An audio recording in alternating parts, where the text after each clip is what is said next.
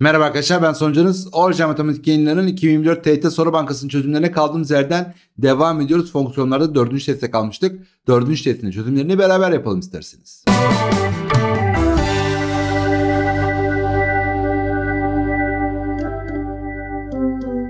Şimdi geldik ilk sorumuza arkadaşlar. İlk sorumuza çözümlerimize başlıyoruz. Bakın ilk soru önemli.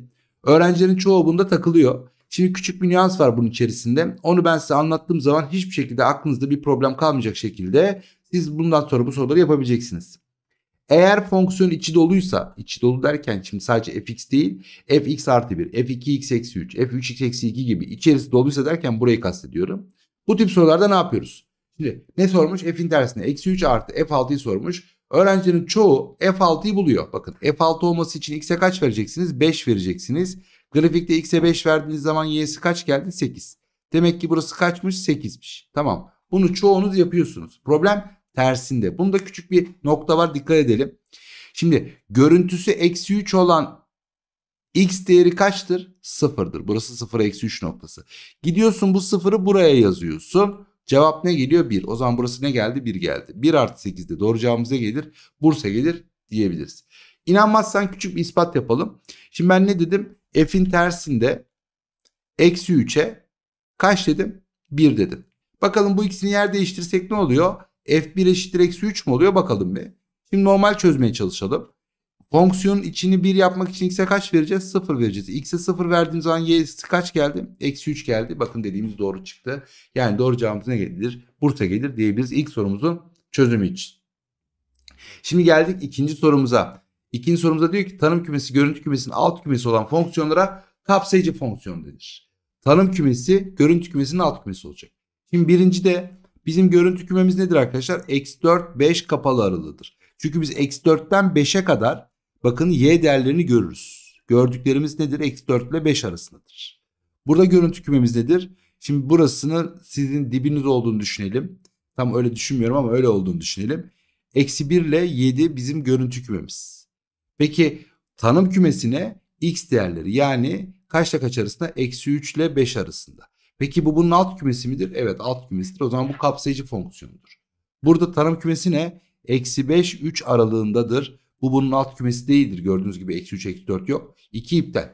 Şimdi üçüncüye bakalım. Üçüncüde tanım kümesi x'lerdir. Yani eksi 2'den 4'e kadar. Eksi 2 4 kapalı aralığı. Peki görüntü kümesine bakalım. Nedir arkadaşlar? Eksi 1 6. Bu bunun alt kümesi mi? Bu taraftan alt kümesi ama sağ taraftan sol taraftan değil. O zaman 3 de iptal. İkinci sorumuzun cevabı yalnız 1 gelmelidir. Yani doğru cevabımız nedir arkadaşlar? Adana'dır diyebiliriz. Şimdi geldik sağ tarafa 3. sorumuza. Yukarı dik koordinat düzleminde fx fonksiyonun grafiği verilmiştir. f eksi 1 sıfır olduğuna göre m değerlerinin toplamı nedir demiş. Şimdi hem grafik var hem de fonksiyon var. Şöyle yapalım. Fonksiyona ne yazarsak görüntümüz 0 gelir dediğinde eksi 3, 2 ve 5. O zaman buradan m eksi 1 kaç olmalı? Eksi 3. m eksi 1 kaç olmalı? 2. m eksi 1 kaç olmalı? 5. Bu şartlar yerine getiren m'ler nedir? m buradan nedir? Eksi 2'dir. m buradan 3'tür. m de buradan kaçtır? 6'dır. Yani m'e 6 verdiğinizde f5 0 oluyor ki tutuyor. Bizden istedikleri neydi? Bunların toplamlarıydı. Yani eksi 2 artı 3 artı 6'dan cevabımız ne gelir arkadaşlar? 7 gelir diyebiliriz 3. sorumuzun cevabı için.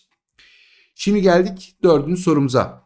Dördüncü soruda bize diyor ki bakın bize ne vermiş? Bir doğrusal fonksiyon nasıl yazıldığını anlatmış bize.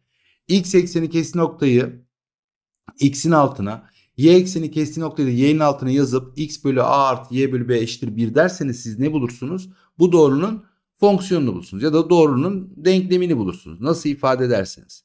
Bakın burada bize f artı g'nin fonksiyonunu vermiş. Yani bize f artı g'nin fonksiyonu için ne demiş? Ki f artı g demek ne demek aslında? fx artı gx demektir. Buradan da x bölü eksi 1 artı y bölü 3 eşittir 1. Şimdi mesela ne yapalım? Buraya eksi 3 yazalım. Burası 1, burasında da 3 yazalım. Eksi 3x artı y eşittir 3 y'yi yalnız bırakalım. 3 artı 3x oldu. Gördüğünüz gibi f artı g'yi söylemiş olduk. Yani ne oldu? 3x artı 3 mü oldu? Aynen. Peki fx'i vermiş mi bana x eksi 2 diye? Burasını x eksi 2 diye vermiş. O zaman ne yapalım? Bu arkadaşı öbür tarafa atalım. O zaman gx ne geldi? Şimdi x eksi 2 öbür tarafa eksi geçecek. 3x artı 3 eksi x artı 2 oldu. Yani gx'imiz ne oldu? 2x artı 5 oldu. Buradan da g1 istiyorsa x yerine 1 yazarsak cevabımız ne gelir? 7 gelir diyebiliriz. Bu da kaçın sorumuz? E, dördüncü sorumuzun çözümüydü. Hadi bakalım geldik sağ tarafa, arka tarafa 5. sorumuza. Yukarı grafiği verilen fonksiyonda fx eşittir 3 eşitliğini sağlayan x değerlerinin toplamının alabileceği en büyük tam sayı değeri nedir demiş. Oraya bir alabileceği kelimesini de ben ekledim olsun. Problem çıkmasın. Yani sonucu 3 olan.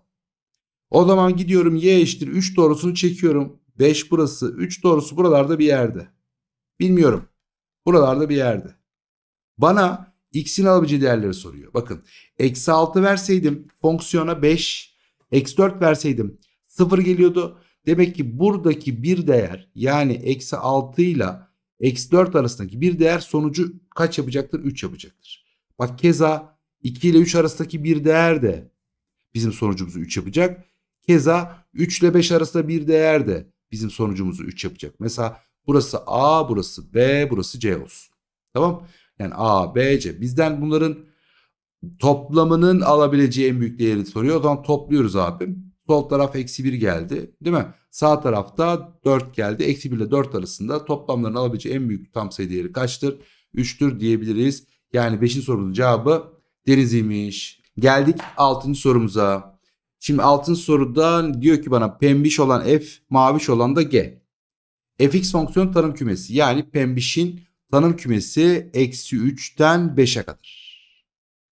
Değil mi? Tanım kümesi ne demek? Verdiğimiz değerler demek.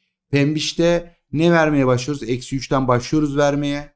5'e kadar veriyoruz. Tamam okey. Bu A'ymış. Peki B ne?